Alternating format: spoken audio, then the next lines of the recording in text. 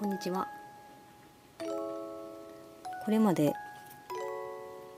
こういったデザインマスキングテープのご紹介をさせていただいたと思います。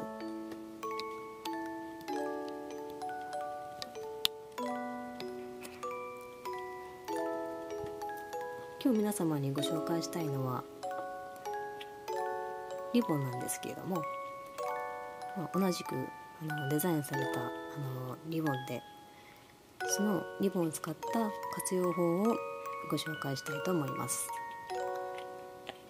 で買ってきたリボンっていうのはこちらのフェルトリボンです。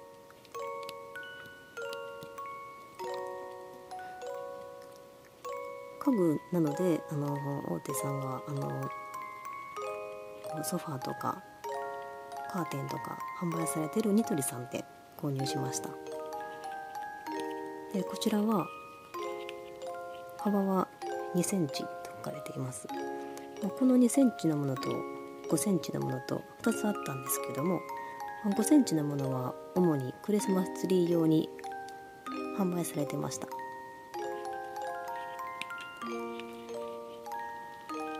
まあでも価格としてもあの、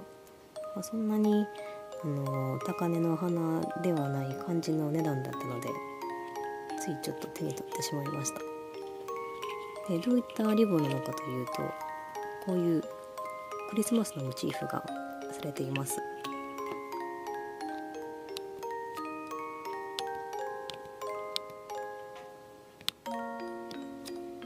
でせっかくなのでこのリボンを用いてアレンジ法をご紹介したいと思います。今回あのあらかじめあのラッピングしたんですけども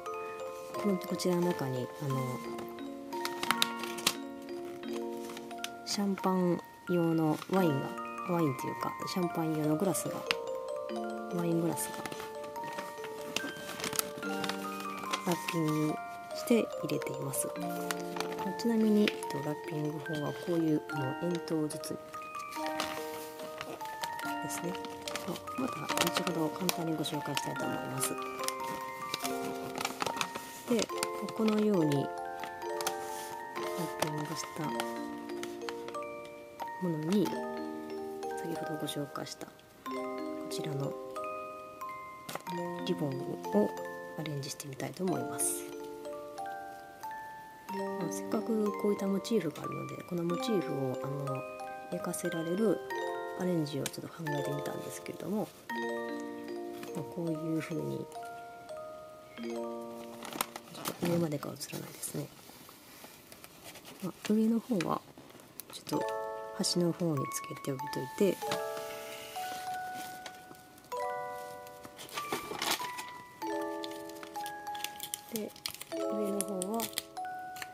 ちらのマスキングあメンディングテープを使って簡単に留めていきます。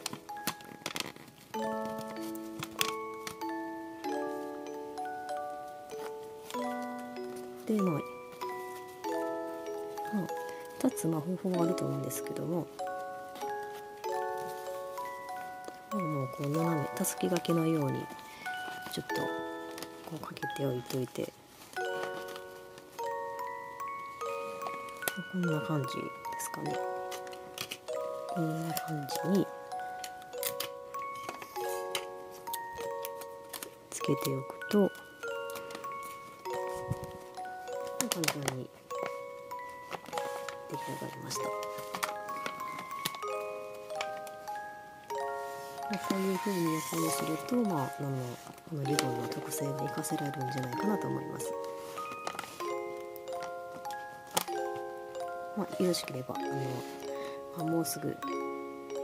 ボジョレー・ヌーボーの季節がやってくると思うんですけれども、まあ、それ以外にもクリスマスでシャンパンシャンメリーとかで召し上がれる方が多いと思います。よければこちらの包み方ご覧いただいてまあ使えるかなと思われる方は是非使っていただければと思います。でのこちらの簡単な包み方なんですけどもあちなみにこちらのラッピング包装用紙はこちらのミッキーマウスのデザインです。多分今年か来年ぐらいミッキーマウスデザインがちょっと来るんじゃないかなとは思うんですけれども今回はちょっとこちらのラッピング用紙で試してみました。こちらちなみにセリアさんで販売されてました。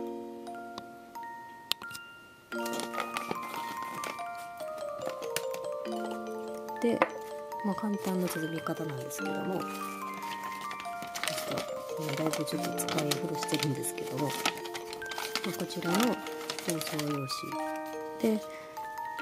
まああの、まあ、これがワインボトルだとすると円筒状のもので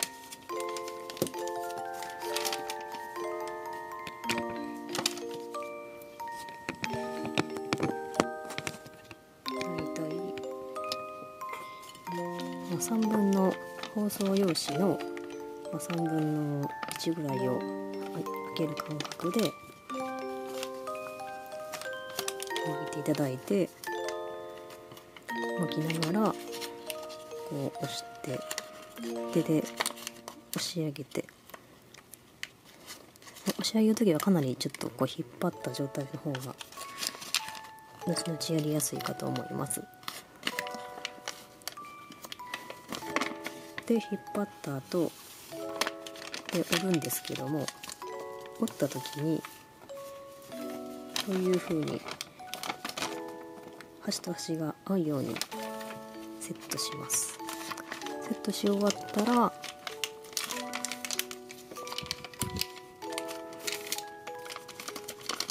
もう一気にぐるっと伸びていきます。キットにぐるっと巻いたらこちらで、まあ、テーピングして